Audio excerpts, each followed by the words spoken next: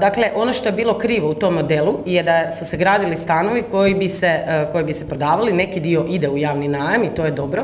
Međutim, ono što nije dobro jest koncentracija, koncentracija takvih blokova i zgrada na jednom mjestu. Ono što je nužno kod planiranja, urbano planiranja, to je ono što smo mi kod sebe ugradili, je da vi takve stambene jedinice imate u svim dijelovima grada. Znači od centra do periferije. A, ono što je Bandić radio je gradio socijalne stanove, ne stanove za javni najam, socijalne stanove. to je poseb, potpuno druga kategorija, to su stanovi za one koji si uopće stanovanje ne mogu jel, priuštiti, gdje, gdje je to subvencionirano od strane grada, mi sa tim naravno programima i nastavljamo.